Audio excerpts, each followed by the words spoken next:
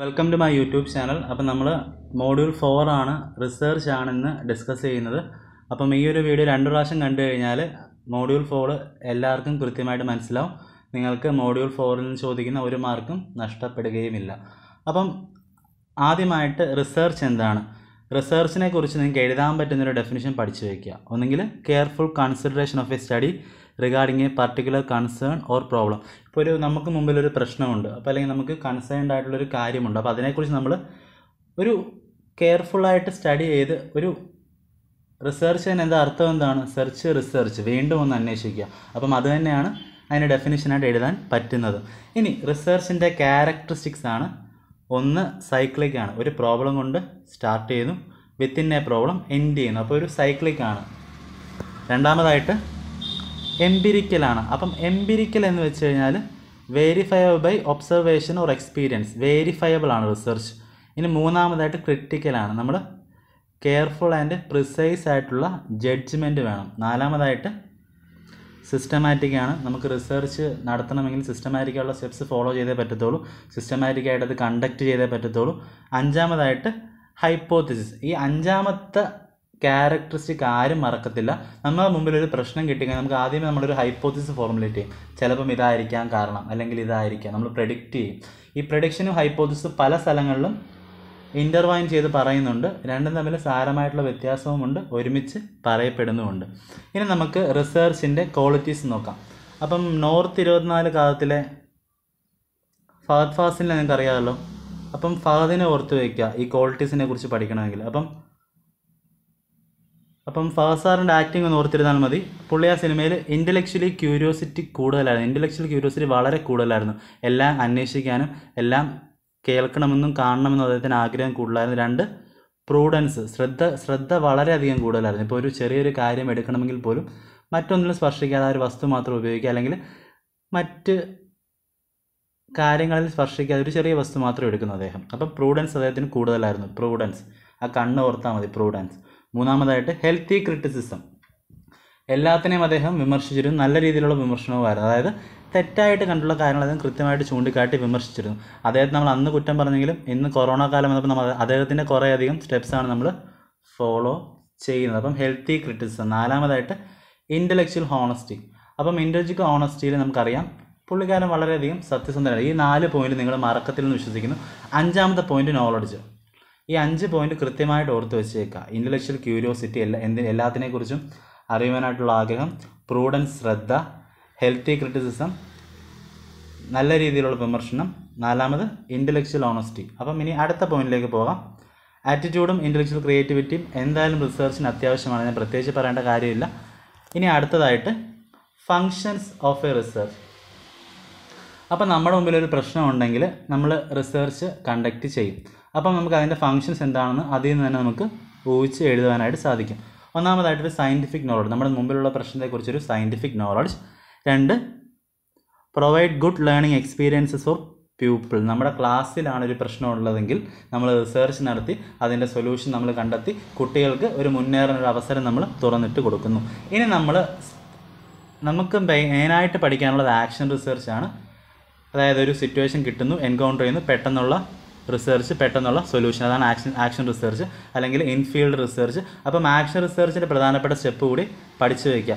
Strengthens and emphasise work of teacher and last point action research helps to solve day to day problems ഒരു teacher ക്ലാസ്സിലെത്തുന്നു ഒരു പ്രോബ്ലമായിട്ട് encounter ചെയ്യുന്നു അത് തന്നെ സോൾവ് ചെയ്യുന്നു. ഇതൊക്കെ തന്നെയാണ് ആക്ഷൻ റിസർച്ച് അപ്പോൾ ആക്ഷൻ റിസർച്ചിന്റെ ഫംഗ്ഷൻസും ജനറൽ ആയിട്ടുള്ള ഫംഗ്ഷൻസും കൂടെ ഓർത്ത് വെക്കുക.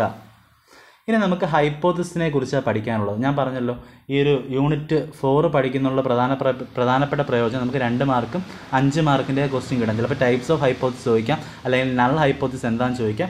അപ്പം ഹൈപ്പോസ് എന്ന് പറയുന്നത് ഒരു റീസണബിൾ ഗസ്സാണ് നമ്മുടെ അവൈലബിൾ എവിഡൻസ് ഉപയോഗിച്ച് കൊണ്ടുള്ള ഒരു റീസണബിൾ അല്ലെങ്കിൽ പ്രപ്പോസിഷനൊക്കെ വിളിക്കുന്ന പേരാണ് ഹൈപ്പോത്തിസിസ് അപ്പം നമുക്കിനി ഹൈപ്പോത്തിസിന്റെ മറ്റൊരു പ്രത്യേകത നോക്കാം. Hypothesis help research to go in a certain direction ഇപ്പം നമുക്കൊരു പ്രശ്നം ഉണ്ടായെന്ന് വിചാരിക്കുക.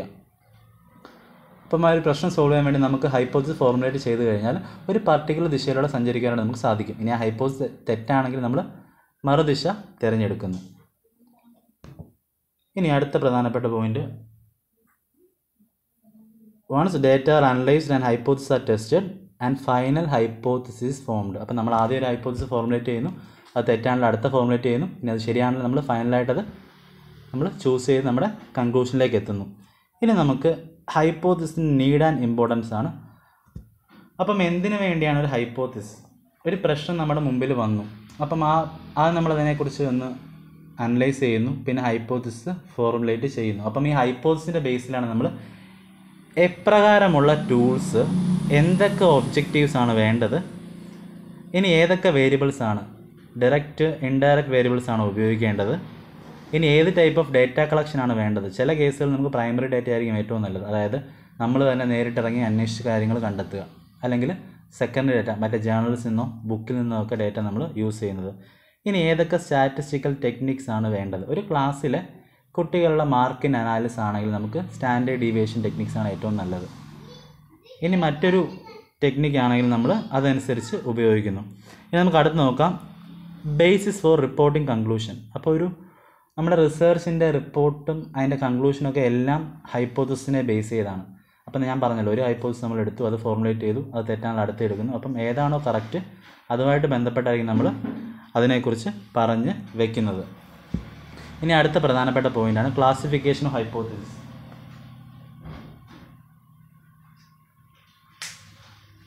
ഇപ്പം ക്ലാസിഫിക്കേഷൻ ഓഫ് ഹൈപ്പോത്തിസിൽ നൾ അല്ലെങ്കിൽ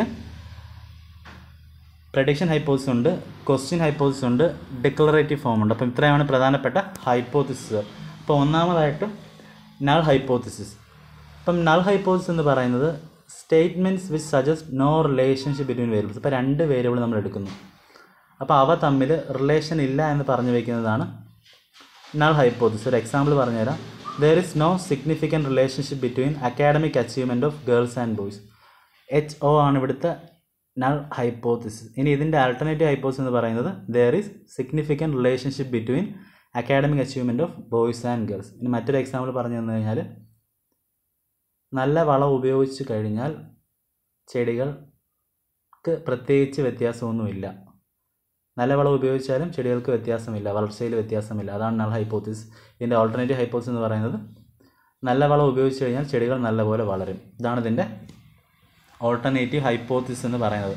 അടുത്തതായിട്ട് പ്രഡിക്ഷൻ ഹൈപ്പോത്തിസിസ് അപ്പം പ്രഡിക്ഷൻ എന്ന് പറഞ്ഞാൽ പറഞ്ഞല്ലോ ഈ പ്രഡിക്ഷനും ഹൈപ്പോത്തിസും ഒരുമിച്ച് പോകുന്ന കേസല്ല ചില കേസുകളിൽ പ്രഡിക്ഷന്റെയും ഹൈപ്പോത്തിസിന്റെയും ഡിഫറന്റ് ആയിട്ട് തന്നെ പറഞ്ഞു വയ്ക്കുന്നുണ്ട് പക്ഷേ നമുക്കിവിടെ പ്രഡിക്ഷൻ ഹൈപ്പോത്തിസ് പഠിക്കാനുണ്ട്.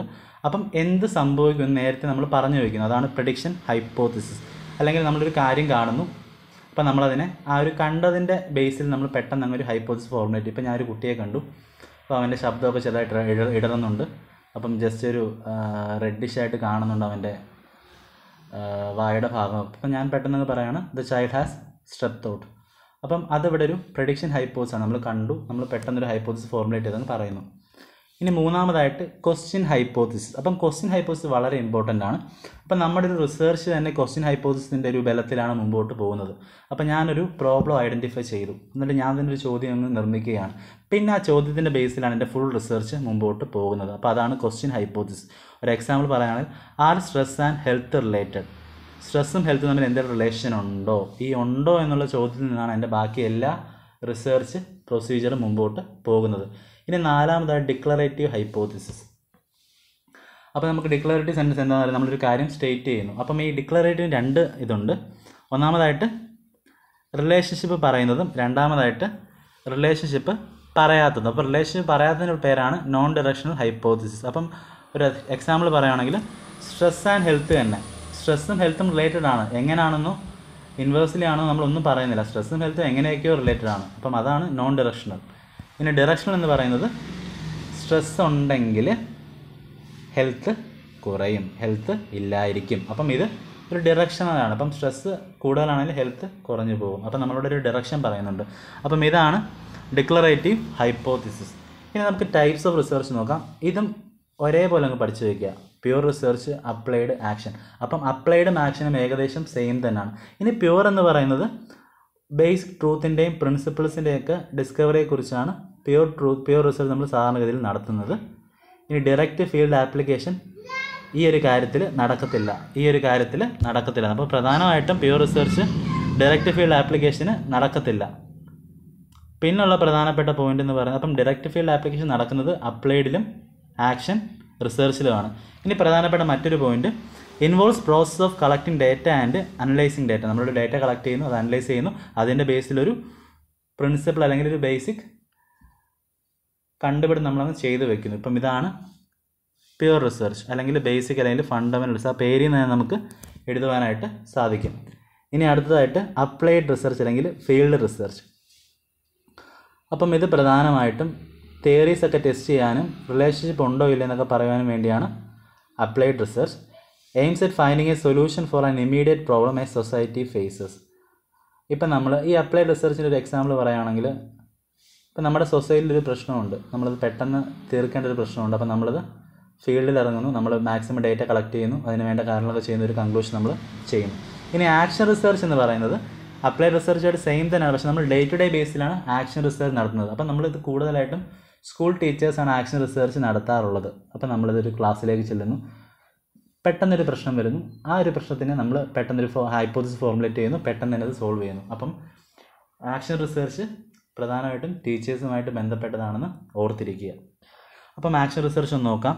Similar to applied research practitioners and teachers applied practically at time of their study മൂന്നാമതായിട്ട് action research is the research of teacher for the teacher and by the teacher ടീച്ചറിന് വേണ്ടിയുള്ളതാണ് ടീച്ചർ നടത്തുന്നതാണ് ഇനി ടീച്ചറിന് ഉപകാരപ്പെടുന്നതാണ്. ഇനി അടുത്ത ഇതിന്റെ ക്യാരക്ടറിസ്റ്റിക്സ് ആണ്. അപ്പം ഒന്നാമതായിട്ട് സിമ്പിൾ ആൻഡ് ഈസി ആയിട്ട് കണ്ടു. ഞാൻ പറഞ്ഞല്ലോ നമ്മളൊരു ക്ലാസ്സിൽ ചെല്ലുന്നു നമ്മൾ പെട്ടെന്ന് നടത്തുന്നു അപ്പോൾ അതുകൊണ്ട് തന്നെ എളുപ്പമാണ് നടത്താനായിട്ട് ഈസിയാണ് രണ്ടാമതായിട്ട് ഒരു നമുക്ക് തോന്നിയ ഒരു പ്രശ്നം സോൾവ് ചെയ്യാൻ വേണ്ടി നമ്മൾ പെട്ടെന്ന് ഫോർമുലേറ്റ് ചെയ്യുന്ന ആക്ഷൻ റിസർച്ച് അപ്പോൾ ഒരു പ്രശ്നമായിട്ടുള്ള സകലവിധ കാര്യങ്ങൾ നമ്മൾ ഗ്യാദർ ചെയ്യുന്നു. പിന്നെ ടീച്ചർ തന്നെയാണ് ഇവിടെ റിസർച്ചർ ഇനി അടുത്തതിന്റെ ഒബ്ജക്റ്റീവ്സ് ആണ്. ടു ഇംപ്രൂവ് വർക്കിംഗ് കണ്ടീഷൻ ടീച്ചറിന്റെ സയന്റിഫിക് ആറ്റിറ്റ്യൂഡ് കൂട്ടുവാനായിട്ട് കുട്ടിയുടെ ഡെമോക്രാറ്റിക് ആറ്റിറ്റ്യൂഡ് കൂട്ടുവാനായിട്ട് പിന്നെ സ്കൂളിന്റെ എക്സലൻസ് കൂട്ടുവാനായിട്ട്. ഞാൻ പറഞ്ഞല്ലോ നമ്മളിപ്പോൾ സ്കൂളിലുള്ള പ്രശ്നമാണ് കുട്ടികൾ പഠിക്കുന്നില്ല. അല്ലെങ്കിൽ ക്യാരക്ടറിൽ പ്രശ്നമുണ്ട് അല്ലെങ്കിൽ സ്കൂളിൽ ഡിസിപ്ലിൻ പ്രശ്നമുണ്ട്. അപ്പോൾ ഇതെല്ലാം നമുക്ക് ആക്ഷൻ റിസർച്ചിലൂടെ പരിഹരിക്കാവുന്നതാണ്. ഇനി steps involve in action research അപ്പോൾ നമുക്ക് ചെറിയൊരു കഥ പറഞ്ഞാലോ. നമുക്ക് എല്ലാവർക്കും അറിയുന്ന മാത്സ് സാറുമാരുടെ കഥയാണ്. സാർ ഇങ്ങോട്ട് വരുന്നു പി ടി പീരീഡ് തരുന്നില്ല പ്രശ്നം ഉണ്ടാകുന്നു. അപ്പം ഈ സാറ് ക്ലാസ്സിൽ പഠിപ്പിച്ചപ്പം ആമ്പിള്ളേർക്ക് റിസൾട്ട് ഇല്ല. അപ്പം ഇതാണ് സാറിന്റെ പ്രശ്നം. അപ്പം സാർ എന്താണ്? ആദ്യമായിട്ട് പ്രോബ്ലം ഐഡന്റിഫൈ ചെയ്തു. ഞാനിത് പറയാൻ കാരണം ആക്ഷൻ റിസർച്ച് മിക്ക എക്സാംസിന് ചോദിക്കാൻ സാധ്യതയുള്ളതാണ്. അതുകൊണ്ട് കൃത്യമായിട്ട് പഠിച്ചു വയ്ക്കുക. അപ്പം ആ ഒരു പ്രശ്നം ഐഡന്റിഫൈ ചെയ്തു. ഇനി ആ ഒരു പ്രശ്നത്തിനെ ഡിഫൈൻ ചെയ്തു. കുട്ടികൾ ആമ്പിള്ളേർക്ക് മാത്രം മാർക്കില്ല. ഇനി അദ്ദേഹം ആ പ്രശ്നത്തിനെ മൊത്തത്തിൽ ഒന്ന് അനലൈസ് ചെയ്തു. അപ്പം അനലൈസ് ചെയ്തപ്പോൾ അദ്ദേഹത്തിന് തോന്നി അദ്ദേഹത്തിന്റെ ഹൈപ്പോത്തിസിന് അദ്ദേഹത്തിന് തോന്നി കുട്ടികൾക്ക് പി ടി പീരീഡ് നൽകാത്തത് കൊണ്ടായിരിക്കാം കുട്ടികൾ തോക്കുന്നത്. അപ്പം അദ്ദേഹം വിചാരിച്ചു അദ്ദേഹം ചെയ്തില്ല അദ്ദേഹം വിചാരിച്ചു. ഇനി തൊട്ട് ഞാൻ അവരുടെ പീരീഡ് എടുക്കുന്നില്ല. അതിനുശേഷം ഞാനൊന്ന് പഠിപ്പിച്ച് നോക്കാം. If I do this this will happen ഇവിടെ ഹൈ ഇവിടെ ആക്ഷൻ ഹൈപ്പോസിസ് ആണ്. ഞാൻ ഇത് ഇന്ന കാര്യം ചെയ്തു നോക്കിക്കഴിഞ്ഞാൽ അങ്ങനെ സംഭവിക്കുമായിരിക്കും. അപ്പം സാർ ആദ്യമേ ഇത് ചെയ്തു നോക്കി. ഇത് ചെയ്ത് നോക്കി. അപ്പം ചില ചില സാഹചര്യങ്ങൾ വിജയിക്കാം ചിലപ്പം വിജയിക്കാതിരിക്കാം. ഇനി വിജയിച്ചതിന് അദ്ദേഹം അടുത്ത ആക്ഷൻ ഹൈപ്പോസിസ് ഫോർമുലേറ്റ് ചെയ്യും. എന്തോ നമ്മുടെ പി ടി സാറിന്റെ ഭാഗ്യത്തിന് ഇവിടെ സോറി നമ്മുടെ മാത്സ് സാറിന്റെ ഭാഗ്യത്തിന് ഇവിടെ ഹൈപ്പോത്തിസ് വിജയിച്ചു. അപ്പം കൺക്ലൂഷൻ എന്താണ്? ആ ഒരു എന്ത് ആക്ഷനാണോ അദ്ദേഹം ആക്ഷൻ ഹൈപ്പോസ് ആണോ അദ്ദേഹം എടുത്തത്? അദ്ദേഹം കൺക്ലൂഡ് ചെയ്തു. അപ്പം കുട്ടികൾക്ക് പ്രോപ്പറായിട്ട് പി ടി പിരീഡ് നൽകി. വേണേൽ വൈകുന്നേരം കൂടി കളിക്കാൻ സമയം കൊടുത്തിട്ട് സാറ് പഠിപ്പിച്ചു. ആമ്പിള്ളേർക്കെല്ലാം നല്ല മാർക്ക് കിട്ടി. അപ്പം അതാണ് ഇവിടുത്തെ നമ്മുടെ ആക്ഷൻ റിസർച്ചിന്റെ കൺക്ലൂഷൻ ഇത് അദ്ദേഹത്തിന് ഒന്നോ രണ്ടോ ദിവസം കൊണ്ട് അദ്ദേഹം ചെയ്തൊരു പെട്ടെന്ന് തട്ടിക്കൂട്ടിയൊരു റിസർച്ച് കൂടിയാണ്. ഇനി ആക്ഷൻ റിസർച്ച് റിപ്പോർട്ട് നമ്മുടെ കണക്ക് സാറ് വീണ്ടും റിപ്പോർട്ട് എഴുതുകയാണ്. ഒന്നാമത് ബാക്ക്ഗ്രൗണ്ട് എഴുതി. എന്റെ കുട്ടികൾ ക്ലാസ്സിൽ ശ്രദ്ധിക്കുന്നില്ല അല്ലെങ്കിൽ ക്ലാസ്സിൽ മാർക്ക് കുറവാണ് ആ പിള്ളേർക്ക്. ഇനി അദ്ദേഹം ഉപയോഗിച്ച മെത്തഡോളജിയാണ് അപ്പോൾ അദ്ദേഹം എന്താണ്? ഒന്നുകിൽ എന്ത് തരത്തിൽ അദ്ദേഹം റിസർച്ച് നടത്തണമെന്ന് തീരുമാനിച്ചു.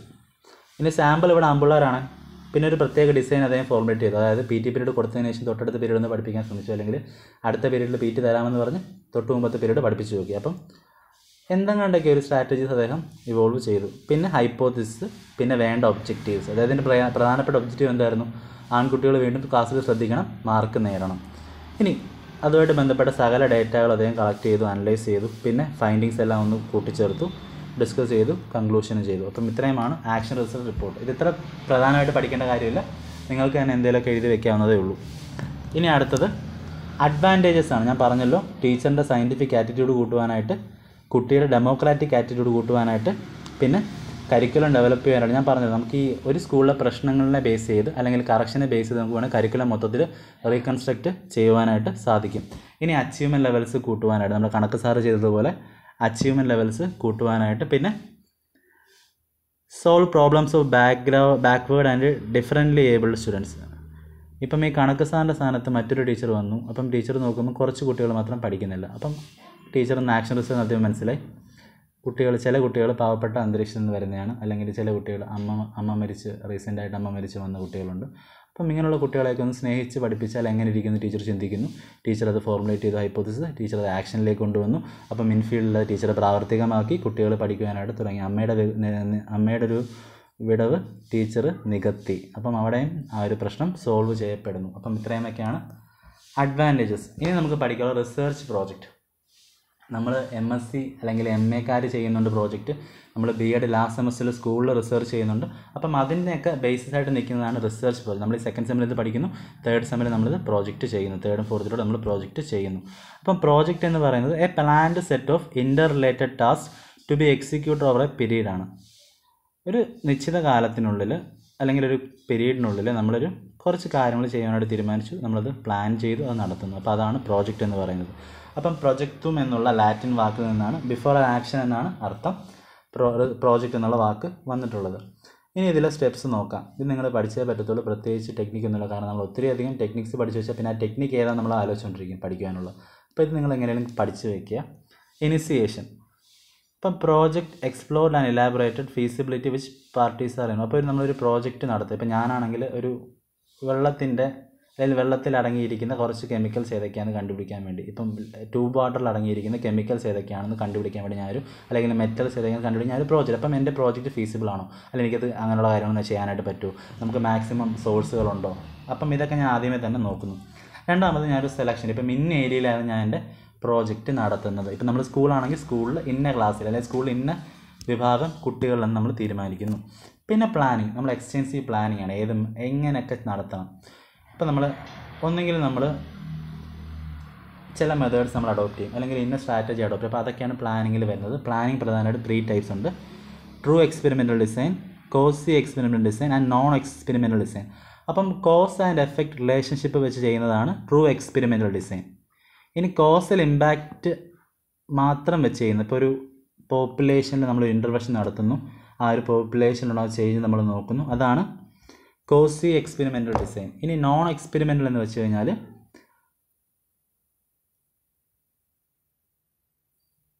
നമുക്ക് ഈ കോസും എഫക്റ്റും തമ്മിലുള്ള റിലേഷനെ കുറിച്ച് പറയാൻ പറ്റാത്തതാണ് നോൺ എക്സ്പെരിമെന്റൽ ഡിസൈൻ എന്ന് പറയുന്നത്. അപ്പം ഇത്രയും കഴിഞ്ഞാൽ നമ്മൾ പ്രോജക്റ്റ് എക്സിക്യൂഷനാണ് അടുത്ത സ്റ്റെപ്പ് പിന്നെ പ്രോജക്റ്റ് ഇവാലുവേറ്റ് ചെയ്യുന്നു. പിന്നെ അതിന്റെ റിപ്പോർട്ട് സമർപ്പിക്കുന്നു. അപ്പം ഈ റിപ്പോർട്ട് സമർപ്പിക്കുന്നു. നമ്മളിപ്പം ബി എഡ് റിസർച്ച് പ്രോജക്റ്റ് ആണെങ്കിലും നമ്മുടെ സാധാ റിസർച്ച് പ്രോജക്റ്റ് ആണ്. നമ്മൾ റിപ്പോർട്ട് സമർപ്പിക്കുമ്പോൾ നമ്മൾ പ്രധാനമായിട്ട് രണ്ട് കാര്യങ്ങൾ നോക്കും. സ്റ്റൈലിഷ് എലമെൻസും ഫോർമാറ്റിംഗ് എലമെന്റ്സ് ഇപ്പം ഞാൻ ഇങ്ങോട്ട് വന്നിട്ട് നിങ്ങൾക്ക് ക്ലാസ് എടുക്കുകയാണ് ഞാനിപ്പോൾ ഇങ്ങോട്ട് വന്നിട്ട് ഭയങ്കര വലിയ കടുകട്ടി മലയാളവും കടുകട്ടി ലാംഗ്വേജ് ഒക്കെ ഉപയോഗിച്ച് കഴിഞ്ഞാൽ ഫോളോ ചെയ്യാൻ പാടായി അപ്പം നമ്മൾ റിസർച്ച് സബ്മിറ്റ് ചെയ്യുമ്പോൾ ഇങ്ങനെയുള്ള കാര്യം നോക്കണം. Simple language lucid style unbiased unemotional man ഇപ്പം ഞാനിപ്പം ഒരു പ്രത്യേക വിഭാഗത്തെക്കുറിച്ച് പ്രോജക്റ്റ് ചെയ്യും. അപ്പം ഞാൻ അവരുടെ വികാരങ്ങളൊക്കെ ഞാനിങ്ങോട്ട് എടുത്തിട്ട് ഞാൻ അങ്ങനെ പറഞ്ഞു വെച്ച് കഴിഞ്ഞാൽ പ്രോജക്റ്റ് മൊത്തം കുളവും. അപ്പം നമ്മൾ നമുക്ക് പ്രത്യേകിച്ച് ഇമോഷൻസ് പാടില്ല. ഒരു റിസർച്ച് കണ്ടക്ട് ചെയ്ത് റിപ്പോർട്ട് സമർപ്പിക്കുമ്പോൾ ഇനി അടുത്തത് ഫോർമാറ്റിംഗ് എലമെൻസ് ആണ്. ഏത് സൈസ് ഉപയോഗിക്കാം ലെറ്റേഴ്സിന് ഏത് ഫോണ്ട് ഉപയോഗിക്കാം. ഇപ്പോൾ ടൈംസ് ന്യൂ റോമനൊക്കെയാണ് നമ്മൾ സാധാരണ സാധാരണയായിട്ട് റിസർച്ചിന് ഉപയോഗിക്കുന്ന ഫോൺസ് അപ്പം ഇതൊക്കെ പിന്നെ പാരഗ്രാഫ് സ്പേസിംഗ് എത്ര വേണം ലൈൻ സ്പേസിംഗ് എത്ര വേണം പിന്നെ രണ്ട് സൈഡിലും പ്രിന്റ് ഒരു സൈഡിൽ പ്രിന്റ് ചെയ്യുന്നതൊക്കെയാണ് സ്റ്റാൻഡേർഡ് അപ്പം ഇത്രയൊക്കെയാണ് നമ്മൾ റിപ്പോർട്ട് സമർപ്പിക്കുമ്പോൾ ശ്രദ്ധിക്കേണ്ട കാര്യങ്ങൾ ഇനി ഇത് പ്രധാനമായിട്ടും നമുക്ക് റിപ്പോർട്ടിന് വേണ്ട അതായത് റിപ്പോർട്ട് നമ്മൾ എങ്ങനെ സമർപ്പിക്കാം എന്നുള്ളതാണ്. അപ്പോൾ ആദ്യമായിട്ട് ടൈറ്റിൽ പേജ് രണ്ട് ബോണഫൈഡ് സർട്ടിഫിക്കറ്റ് നമ്മുടെ റിസർച്ചറിന്റെ അതായത് നമ്മുടെ റിസർച്ച് ഹെഡിന്റെ നമ്മുടെ ഗൈഡിന്റെയൊക്കെ ഒരു ബോണഫൈഡ് സർട്ടിഫിക്കറ്റ് മൂന്നാമത്തെ അബ്സ്ട്രാക്റ്റ് റിസർച്ചിനെ കുറിച്ചുള്ളൊരു ഒരു വൺ പേജ് ഡീറ്റെയിലിംഗ് മൂന്നാമതായിട്ട് ടേബിൾ ഓഫ് കണ്ടൻസ് പിന്നെ ചാപ്റ്റർ വൺ എപ്പോഴും ഇൻട്രൊഡക്ഷനാണ് ചാപ്റ്റർ ടു മെത്തഡോളജി ഏത് മെത്തഡോളജിയാണ് നമ്മൾ ഉപയോഗിച്ചത്? ഇനി ചാപ്റ്റർ ത്രീ റിസൾട്ട് ഇതിനകത്താണ് analysis interpretation and finally result കൺക്ലൂഷനൊക്കെ വരുന്നത്. പിന്നെ റെഫറൻസ് നമ്മൾ ഏതൊക്കെ ബുക്കിൽ നിന്നാണ് എന്തൊക്കെ കാര്യങ്ങൾ എടുത്തു ഏതൊക്കെ വ്യക്തികളിൽ നമ്മൾ സോഴ്സ് സെലക്ട് ചെയ്തു നമ്മുടെ ഡേറ്റ കളക്ഷൻ നമ്മൾ ഏതൊക്കെയാണ് ഉൾപ്പെടുത്തി ഇതൊക്കെ ഉൾപ്പെടുത്താനുള്ള സംഭവമാണ് റെഫറൻസും ബിബ്ലിയോഗ്രഫിയും അപ്പം ഇത്രയും കാര്യം കൊണ്ട് നമ്മുടെ റിസർച്ച് ഇവിടെ തീരുന്നു. എനിക്ക് ശബ്ദമില്ല അപ്പം മാക്സിമം സ്ട്രെയിൻ ചെയ്താണ് പറയുന്നത്. സോ എല്ലാവർക്കും മനസ്സിലായെന്ന് വിശ്വസിക്കുന്നു. വീഡിയോ ഒന്നുകൂടെ കാണുക. അപ്പോൾ നിങ്ങളുടെ റിസർച്ച് ടോപ്പിക്കുമായിട്ട് ബന്ധപ്പെട്ട ഏറെക്കുറെ സംശയങ്ങളൊക്കെ തീരും. നല്ല രീതിയിൽ എഴുതാനും പറ്റും. താങ്ക്സ്